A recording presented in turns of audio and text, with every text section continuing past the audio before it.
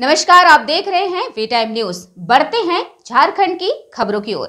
भुरकुंडा कोलियाई के तीन नंबर झोपड़ी स्थित नलकारी नदी तट और पहाड़ियों के बीच में घिरा हुआ स्थल पर स्थापित है बुढ़वा महादेव मंदिर। लोगों में मंदिर के प्रति काफ़ी आस्था है।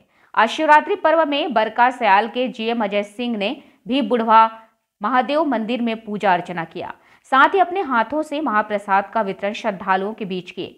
महाप्रबंधक अजय सिंह द्वारा बुढ़वा महादेव के प्रांगण में एक चबूतरे के साथ सेट का निर्माण करवाया गया।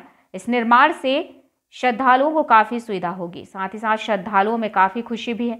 इस बुढ़वा महादेव मंदिर में सैकड़ों लोगों की भीड़ उमड़ती है।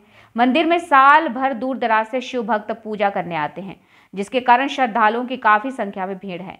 आज से मंदिर प्रांगण में 24 घंटे का अखंड हरि कीर्तन भी किया जा रहा है, जो कल पूर्णाहुति के साथ संपन्न होगा। अखंड हरि कीर्तन समाप्त होने के बाद महाप्रसाद का वितरण किया जाएगा। विटाइम न्यूज़ के लिए रामगढ़ से अमित पाठक की रिपोर्ट।